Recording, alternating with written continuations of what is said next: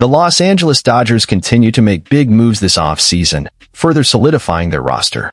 With investments that surpass the impressive mark of 1.3 billion US dollars, the Dodgers are sparing no effort to strengthen their pitching rotation. Notable among the new additions is the epic 12-year deal with MLB star Yoshinobu Yamamoto, who promises to bring his exceptional skill to the American field.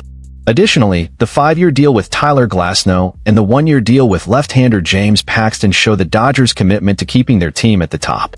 But the movements don't stop there. Walker Buehler's return from his second Tommy John surgery and the expected return of Clayton Kershaw over the summer add even more strength and depth to the Dodgers rotation.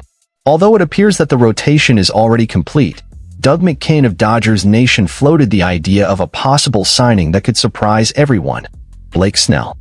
Leave your like on the video so you don't miss anything here and subscribe to the channel so you don't miss the next news from the Dodgers.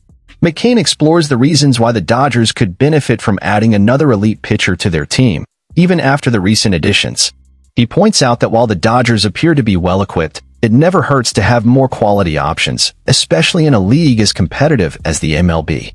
The Dodgers' recent history in the playoffs shows that rotation depth is often tested by injuries and other unforeseen circumstances. Thus, McKain raises the possibility of the Dodgers taking advantage of the slow-moving transfer market to try to secure the services of the reigning National League Cy Young Award winner. With a contract that offers advantages for both the player and the team, this could be a unique opportunity for the Dodgers to further strengthen their prominent position in the league.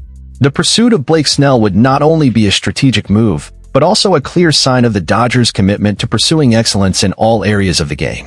What are your thoughts on this possibility of adding Blake Snell to the team? Would you like to see Snell wear a Dodgers blue jersey? Leave your opinion in the comments below.